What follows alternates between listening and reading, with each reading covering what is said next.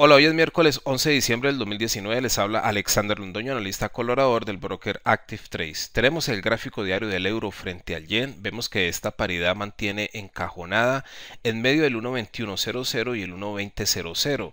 En esos mismos niveles también se encuentra la media móvil exponencial de 200 días y la media móvil exponencial de 55 días. Vemos que ambas medias móviles han estado atrapando al precio dentro de esa consolidación. El rango incluso se podría encoger aún más si se mantiene dentro de esa consolidación. De aquí el precio podría salir en cualquier dirección pese a que todavía se mantiene una leve tendencia alcista a corto plazo.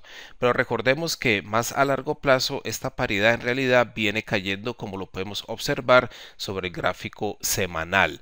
Regresando al gráfico diario, vemos que llegar a romper por debajo del 1.20.00 también podría estar rompiendo esta línea de tendencia inferior, la cual está formando lo que aparenta ser un triángulo simétrico sobre el gráfico diario.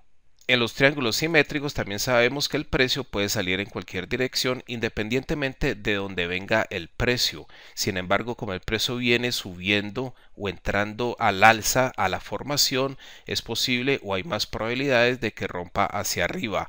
Hacia abajo el 119.00 podría actuar como soporte, seguido por el 118 o el 117 de donde ya ha rebotado hacia arriba.